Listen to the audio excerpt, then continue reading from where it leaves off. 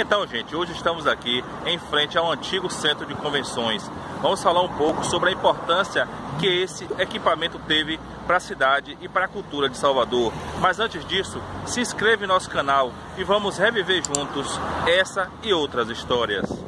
O antigo Centro de Convenções da Bahia fica localizado no bairro do Estiepe, em Salvador. O espaço foi inaugurado em 1979 e funcionou por 31 anos, até que em 2015 foi interditado pela SUCOM em função de problemas em sua estrutura. O governo estadual iniciou uma reforma, mas em 2016 um desmoronamento encerrou definitivamente as atividades do equipamento, até que em janeiro de 2015 2020, a Prefeitura Municipal de Salvador inaugurou um outro centro de convenções a poucos metros do antigo.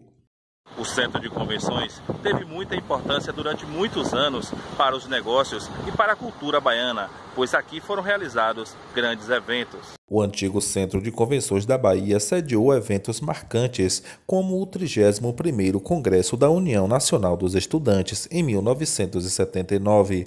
Na ocasião, a UNE iniciava um processo de reconstrução após anos sendo perseguida pela ditadura militar. Sediou ainda eventos internacionais, como a segunda Conferência de Intelectuais da África em 2006, onde diversas autoridades políticas e culturais do continente africano e diáspora estiveram presentes, além de eventos culturais, como a Bienal do Livro em 2009. O espaço de 153 mil metros quadrados possui uma arquitetura inovadora até para os padrões atuais. Seu projeto foi escolhido em uma seleção, saindo vitoriosa a planta do engenheiro Carlos Emílio Menezes Strauch.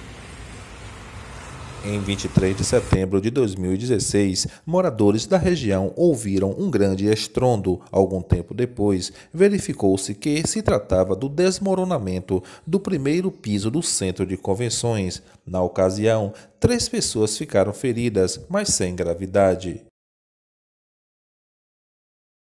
Hoje abandonado, o equipamento que ainda ostenta obras do artista baiano Bel Borba, que remetem à baianidade, vive de esperar o dia de sua demolição definitiva, cuja data depende de ajuste judicial. O centro em nada lembra os tempos áureos em que reunia líderes cujos encontros interferiam na vida cultural, estudantil e política dos baianos e brasileiros.